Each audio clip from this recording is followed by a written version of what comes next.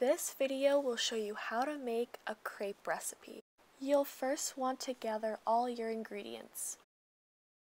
This recipe calls for 1 cup of flour, 2 eggs,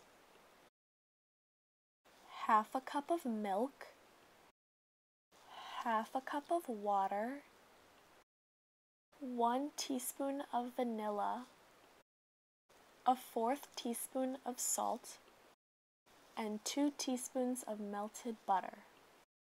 First add your flour and eggs to the bowl. Then whisk them together. Then you want to gradually add in your milk, pouring a little bit in at a time. You want to do the exact same thing with the water. Add your vanilla, salt, and butter to the bowl. Using a mixer, you want to beat together all of your ingredients until there are no lumps. Use about a tablespoon of butter to grease your pan. Oil or cooking spray works just as well. Put a ladle and a half of batter onto the pan and turn the stove to medium. Turn your pan to let the batter spread out and then let it sit on the stove for about a minute and a half or until it looks light brown. When you think one side is ready, use a spatula and flip the crepe.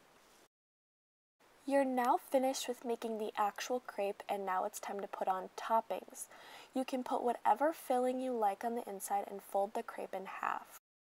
Next you want to fold the crepe into thirds so it makes a triangle. Take the thicker triangle and fold it over one more time.